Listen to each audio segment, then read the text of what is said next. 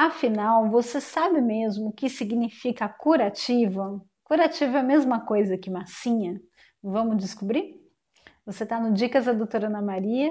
Muito obrigada por estarem aqui comigo. Se você não é inscrito no nosso canal e gosta de odontologia, informações, vale a pena se inscrever. Toca no sininho para receber nossas notificações. Se você também gostou desse vídeo, seu like é tão importante para a gente quanto o seu comentário.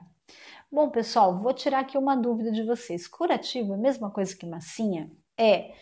E curativo quer dizer que não acabou meu tratamento? Sim. Muita gente me pergunta: escuta, eu tô, eu saí do dentista com um curativo e ele falou que acabou o tratamento. Afinal, acabou ou não acabou? Essa é a questão.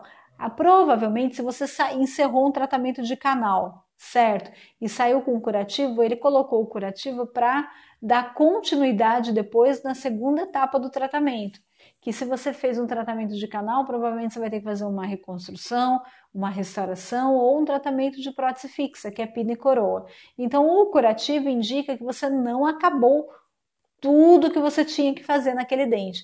Pode ser que o seu dentista não vá fazer todo o resto, porque isso vai de acordo com o que vocês planejaram no início olha, eu vou fazer só o canal, depois vai ter o valor da coroa, do pino, enfim, você quer fazer ou não? Então, isso é, uma, é um acordo que vocês têm que ter. Mas, quando ele coloca o curativo, ele está te informando que você precisa terminar de tratar esse dente de alguma outra forma. Dificilmente você vai sair com o curativo e, pronto, não tem mais nada, porque o curativo, já fiz um vídeo sobre isso, ele tem um intervalo de tempo aí em torno de 15 dias a um mês, mais ou menos. Mais do que isso, impossível de durar. Se o seu tá aí quase um ano, é porque primeiro você deu sorte ou azar. E eu, eu vou explicar isso, mas eu já expliquei em outro vídeo. Ele tá aí parecendo que ele tá inteiro, mas por dentro, gente, tá cheio de bactéria, infecção, tá contaminado. Então, assim, não é legal você estar tá com curativo há mais de um ano,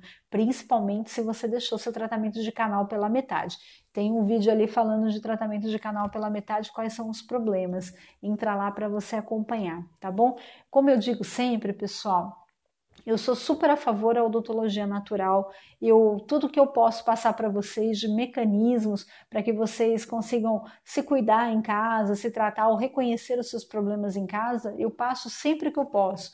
Mas no caso, gente, de um curativo que está aí mais de um mês indicando que você precisa dar continuidade ao tratamento. Se você parou de tratar um canal por devidas impossibilidades, não tem problema, mas eu estou aqui para te orientar que nessa circunstância você não tem o que fazer. Todas as minhas receitas e os meus métodos são para você fazer um tratamento externo, mas tudo que envolve organismos, micro-organismos internos e canal, realmente eu tenho que te aconselhar a procurar um dentista. Então, quando você está com a massinha e saiu do dentista, você falou tchau para o seu dentista, você pode ter falado tchau para ele, mas que você vai ter que continuar a fazer o tratamento com outra pessoa em algum outro lugar, com certeza, tá bom, pessoal? Não é que você acabou tudo, você acabou aquela parte, mas agora tem que dar seguimento, tá bom? É isso aí, gente. espero que tenha sido é, útil essa informação, tá bom? Deixe seu comentário no final. Grande beijo, até a próxima.